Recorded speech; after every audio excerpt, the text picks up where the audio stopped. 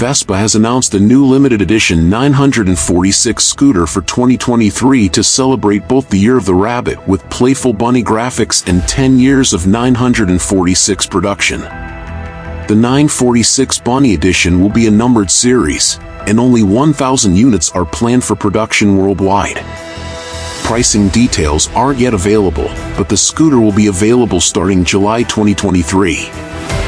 Since its introduction to the market in 2013, the 946 has served as a platform for Vespa's more exclusive offerings.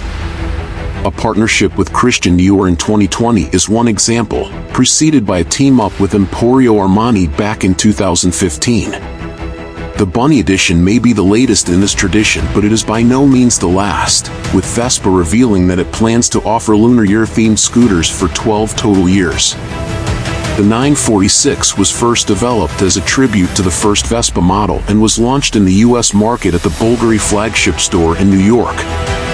It was also a limited edition, with only 3,600 units, and was the first in the brand's history to combine steel and aluminum in the bodywork along with unmistakably nostalgic styling.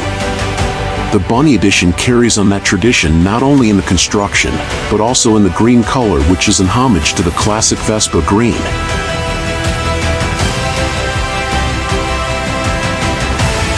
Stay tuned and subscribe to our YouTube channel for more motorcycle news and reviews.